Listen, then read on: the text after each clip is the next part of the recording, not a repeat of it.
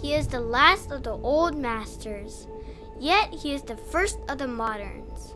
He was born into a lower middle class family, yet he painted for kings and mingled with the rich. Who is this great and transcending artist? It is none other than Francisco Goya, or just Goya for short. He did indeed paint for the royalty, the nobility, and portraits for those in high places. But after going deaf in his 40s, his works grew dark, and he contemplated the humanity of man and man's inner struggles and character. Then, in his 70s, withdrew from public life, where he painted directly onto his plaster walls. But unlike the commissioned works at the request of his patrons, these private oil paintings were a true and honest glimpse into the inner world. That is, Goya. He also supported the values of reason and the age of enlightenment, but became disheartened by the aftermath of Napoleon's invasion and occupation of Spain during the Peninsular War. In his 60s and disillusioned, he created The Disasters of War, a series of prints detailing the atrocities of war and violence. He was skilled in both painting and printmaking and developed printmaking techniques like etching dry point aqua tint and demonstrated printmaking as modern art.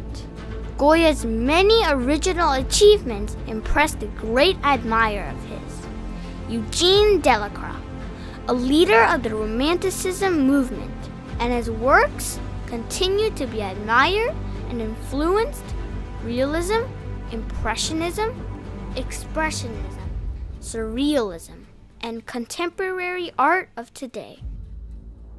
So let's create our very own dry point on OHP film like the great Goya.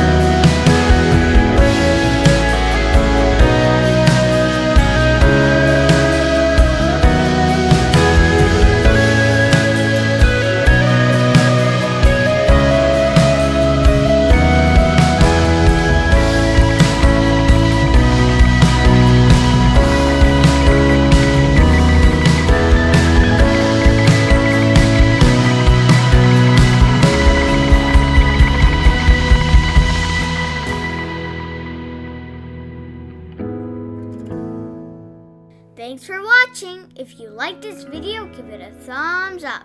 Be sure to subscribe to my channel for more videos like this.